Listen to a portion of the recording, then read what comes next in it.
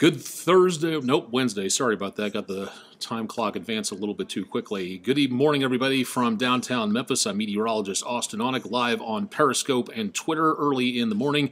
A lot of cloud cover out there. We're starting to see some more clearing skies out across portions of the Mid South north of I 40. We're just not picking up a lot of activity just around the Memphis metro area just yet. A little bit on the cloudy side out there for this morning and should remain mostly cloudy for most of the area as we go through most of the day. Now, I've said the word most about 52 times. Looking fairly quiet for right now now, we do again have some possibilities of some showers out there well into the future, and we're talking about toward middle to late next week. And we'll talk a little bit more about that coming up here in just a little bit. If you got questions about the forecast or in and around the Mid South area, please feel free to drop them into the comments section. Again, we are live on Periscope for this morning. Thanks to Z Nissan for joining us on Periscope for this morning. Thanks a lot for everybody for checking in for right now. And again, if you have any questions or concerns, please let me know would love to have you along for the ride to see what's going on uh, in and around your area for right now. Again, decently quiet for most of the News Channel 3 viewing area. We may see again some changes coming our direction as we get into the rest of the forecast. We'll talk more about that in just a little while. If this signal holds, we welcome all of our guests from around the area on our Facebook page as well. Once again, if you have questions about the forecast, drop them into the comments section. And of course, let's see where you're from location wise. And also, if you get any weather reports you have there. We were outside underneath one of the giant satellite dishes from yesterday, just for the heck of it, and from the helipad in the backyard on Monday. So it seemed like a great opportunity since it was nice and chilly in the Mid South to come indoors again and see the interior lobby. That is someplace you don't usually see on News Channel 3. The staircase for upstairs, General Manager Ron Walters' office up there at the top, and the sales department and all the other people who make this place run upstairs for this morning. And as of right now, much more comfortable inside than what it was outside yesterday. Also very nicely decorated decorated up there, even if it is a little bit on the echoey side in here for right now. So thanks again to everybody for joining us. Dakota0397, thanks for stopping by on Periscope for this morning. Taking a look outside from the News Channel 3 studios. Yeah, I know it's a little bit on the limited side, but uh, this is what it looks like out the front lobby. Out that direction, that is, again, the, see, where'd my pointer go? See, there we go. Out that direction, that's the outside backyard area, and getting a little bit of some gray skies up and around that, and the glass from outside, so a little bit of a reflection there. Let me take this off here for just a second, pan back around, and you can say hello to Corey Ventura sitting behind the anchor desk right there with the very brightly decorated News Channel 3 logo out there. She's manning the desk for our usual person who's stepping away for a bit of coffee for right now. And as right now, things decently quiet indoors as well as outdoors. So again, thanks for everybody for tuning in for early this morning as well. Hey, how you doing, sir? Good to see you. Corlin Parker from upstairs dropping on by for this morning, getting all kinds of our guests through here for right now. Again, for the rest of the day, pretty quiet for the time being. Taking a look at some of our WeatherBug cameras, a few hardy souls out and about this morning at Windyke Country Club in southeast Memphis at the driving range and out doing a little bit of golfing for this morning, but otherwise not seeing too much of any visibility problems. It is going to be a little blustery and a little chilly out there, and if you think this is too warm, well, stay tuned because we've got some even colder numbers coming our way as we get into the rest of the forecast. Camera from around Germantown High School showing again some gray colors out that direction, but we are seeing a little bit of some clearing skies way on off out on the horizon. So we are seeing some sunshine in parts of the Mid South. It's just going to take a while for that to clear its way on out of here for right now. So clouds will be sticking around for a while. More of our WeatherBug cameras again available at wreg.com slash webcams if you'd like to see more about what's going on out there. Also forgot to mention if this is your first time tuning in to our video weather blog, check out the forecast here scrolling by in the blue bar. Questions about our social media networks, again, you can go here, there, or again, let me bring that back up again right there, all the social media networks that I'm on that you can check out more about what's going on in and around the Mid-South area. And thanks to everybody for checking in so far out there right now. Let's take a look at radar and show you that we have absolutely zilch to show you at this point. Nothing showing up in and around the Mid-South area. A few light scattered echoes down around Greenwood, south of Cleveland, and back over toward Caledonia, north of West Point and Columbus.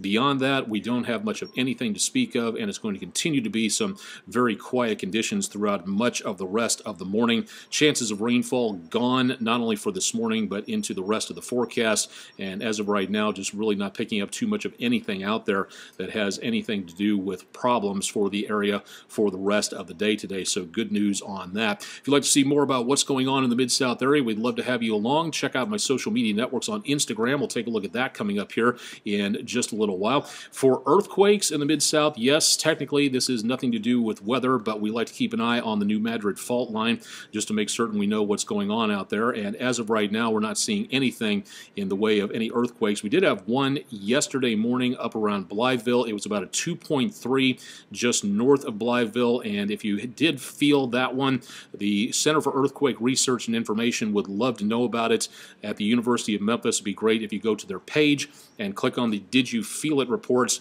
Good opportunity to learn a little bit more about seismology and how to participate in what's called citizen science. If you've never done that before, a great opportunity to learn more and to get your kids introduced to what's going on out there for that. Again, all of our web cameras available at wreg.com slash webcams if you'd like to check in with what's going on, like at Heidelberg Elementary in Clarksdale. A little bit of cloud cover there as the school day continues onwards.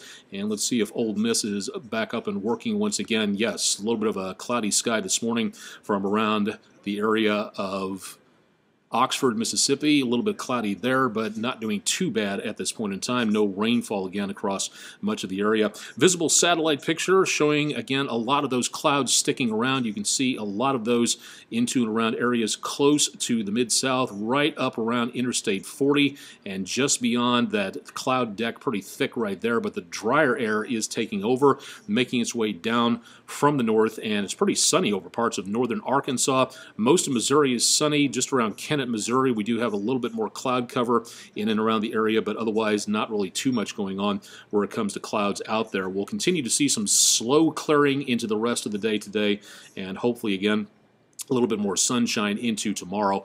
We'll keep you updated on that in the forecast in just a little bit. Very quiet across the continental United States. Not much of anything going on at this time.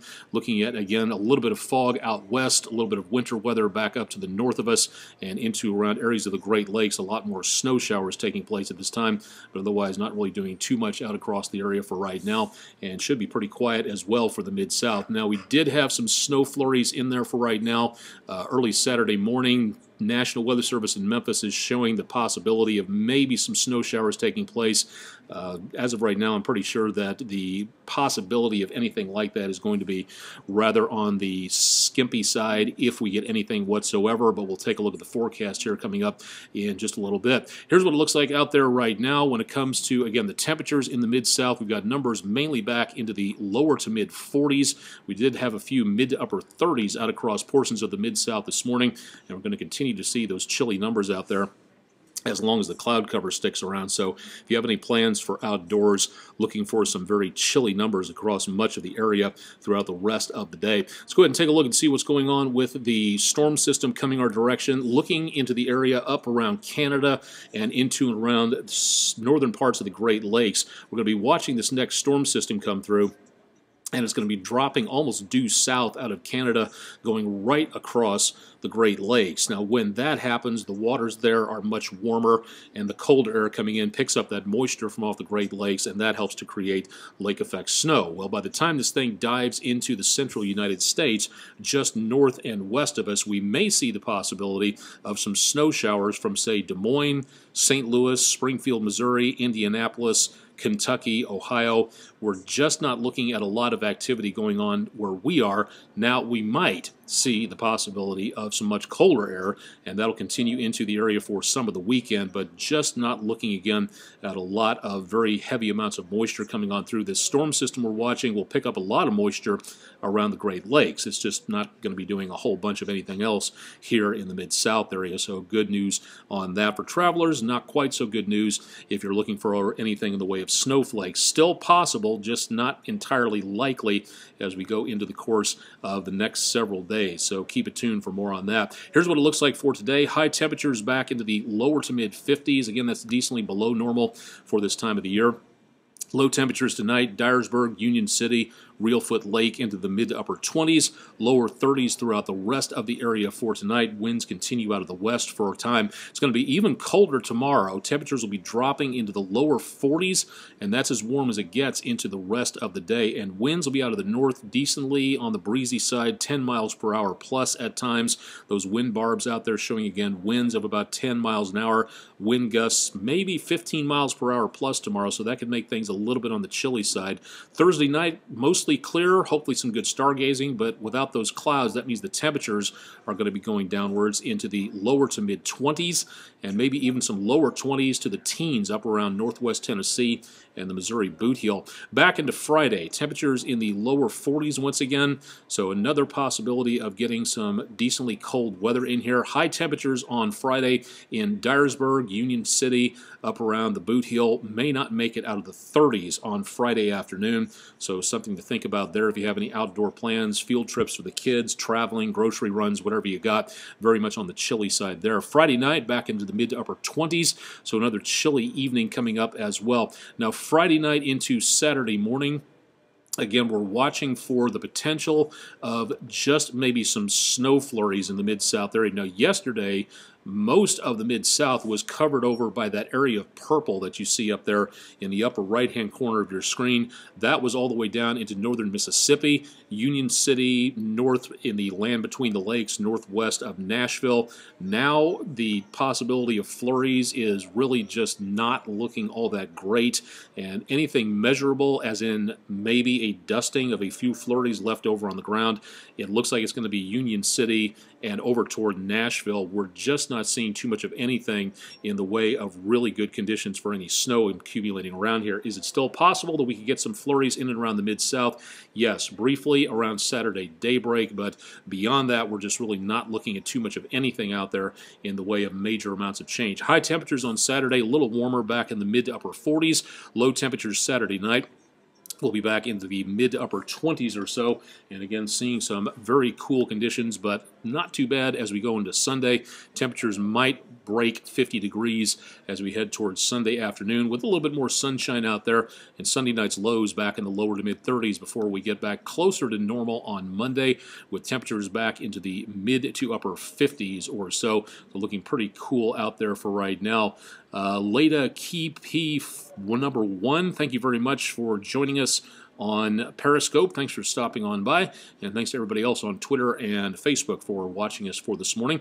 Rest of the forecast going out into the extended, we do see the possibility toward about next week, maybe next weekend, according to some of the computer models at this time, of maybe picking up some snow showers. According to what it says here, that purple spike that you see down toward the lower section of your screen showing a possibility of a heavier dusting of snow doesn't look like a lot right now. We will be watching that with a lot of interest, but that again in the lower left or right hand corner of your screen there, that's where we may see again the potential for some snowfall farther on down the line. It really does not look good on that one either, but because it is so far in the future, according to this computer outlet, this is called a meteogram.